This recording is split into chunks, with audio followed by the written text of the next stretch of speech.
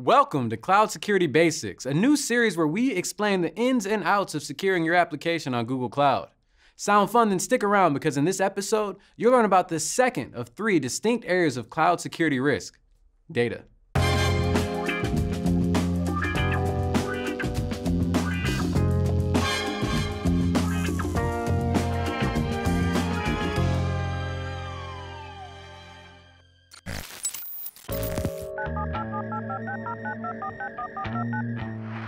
Hello, Cloud Detective. You may have found protections for the first cloud security risk, access, but how much have you thought about the second risk, data? How can you prevent problems with the data you store? There are many ways to get trapped here. Improper disclosure of your info by employees. Imagine accidentally sending an email containing credit card or social security numbers. Your application could disseminate harmful data, sharing phishing URLs or malware. Or data could be stored somewhere without proper security protocols in place.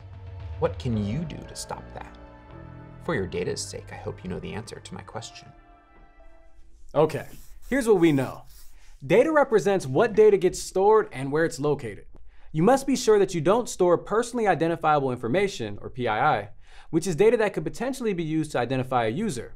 And even if you don't store sensitive information, if you can't find where you stored it, that's not going to be very useful to you or your customers. Typical concerns here include something bad with the people who can access machines. For example, a compromised employee accessing data they shouldn't. Something bad with the data itself, like receiving bad data or storing illegal data.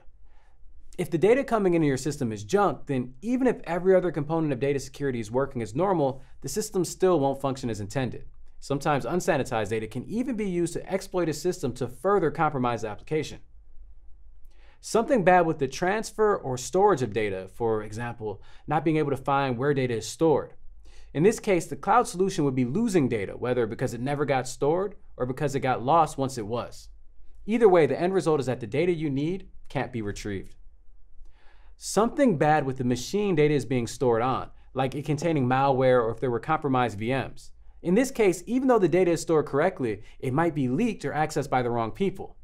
Luckily, Google Cloud provides a lot of tools and services to protect its users, including, but not limited to, IAM for controlling access to data resources, encryption to make sure stored and transferred data can't be read even if it is stolen, logging and monitoring to make sure that you can track what's happening in your system, DID for making sure PII information is stripped before it's ever stored in your system, organizational policy to set rules on who can access what data and where it's stored, and better VMs or VM management, like Forseti or Google Host Patching, etc., to make sure that the machines you use are secure.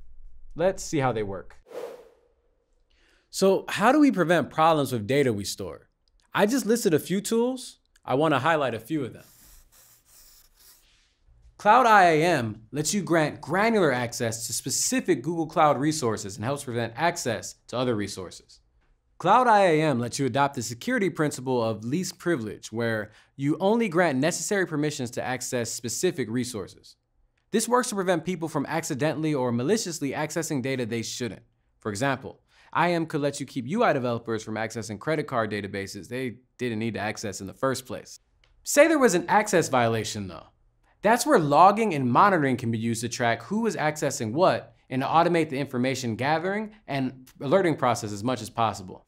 Cloud Platform provides tools such as Google Cloud Logging and Google Cloud Monitoring that make it easy to collect and analyze request logs and monitor the availability of your infrastructure services, like VM instances. These tools make it easy for you to create custom dashboards and set alerts when issues occur. For example, you could set up notifications to warn you of suspicious activity in your system, or to notify you when access to a resource is taking too long, for instance. But really, it's good to be proactive as much as possible and set up organizational policy. An organizational policy is a centralized configuration of restrictions on how your organization's resources can be used. They define guardrails for your development teams to stay within compliance boundaries and help teams move quickly without worrying of breaking compliance. For example, you could set a policy to require all newly created, restarted, or updated Cloud SQL instances to use customer managed encryption keys. All of these tools and more work together to protect data. Mmm, and that's it. I know the answer to Bad Actor's question. Hello, Detective. I see you've been busy. You answered my little question. What if there's a problem with the data you store? You learned that Google provides a plethora of tools to help customers protect data, including IAM, encryption, logging and monitoring, organizational policy, and more. These features allow you to make sure only valid data is being stored, control who can access data that's stored, and help you find the data you do store. Very good, very good. You've answered today's question, but be ready, because next time, I want to see what you know about securing your virtual and physical hardware. So there you have it, another episode of Cloud Security Basics. Next episode will focus on the last of three distinct areas of cloud security risk, platform. In the meantime, if you want to take a deeper dive into securing data in the cloud, then check out the article linked in the description below. And stay tuned for the rest of the Cloud Security Basics series because when it comes to security, you can't let bad actors win.